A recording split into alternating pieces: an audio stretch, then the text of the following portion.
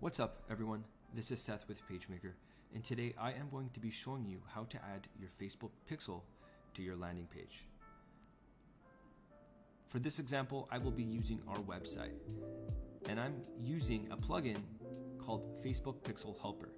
This is great because not only will you be able to simply copy your pixel code, but you'll also be able to see if it's working. And this works for all different events, not just your base pixel.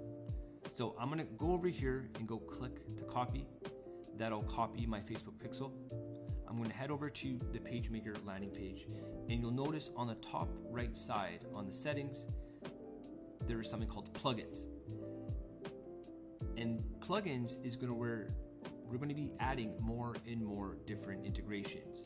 So from Snapchat pixels to Pinterest pixels, this is where you're gonna go to simply add your pixel IDs natively. Click on the Facebook pixel, simply paste in that code, click on save.